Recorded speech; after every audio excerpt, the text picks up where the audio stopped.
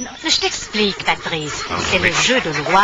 Ah et oui. un jeu de loi à gratter. Tu joues avec des dés. Ah, bah oui. Il y a du suspense. Et qui c'est Dédé? Ah, ah. Pas des dés, des dés, des dés. Comme au jeu de loi. Tu grattes des dés.